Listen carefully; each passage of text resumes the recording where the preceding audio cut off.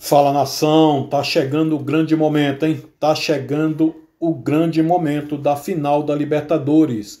É agora, dia 29, tá? 29 do 10, mais conhecido como sábado, exatamente isso. Você, você torcedor do Flamengo, você rubro-negro, você acredita que essa dupla aqui, ó, ó, o Pedro e o Gabi, aqui, ó, eles vão trazer o tricampeonato da Libertadores para Gávea? Deixa aí o seu comentário, gente. Comente, comente. Você que acredita no Flamengo, você que acredita que o Flamengo vai trazer esse tri da Libertadores para Gávea e que vai estar tá, é, no começo do ano no Mundial, deixa aí o seu comentário.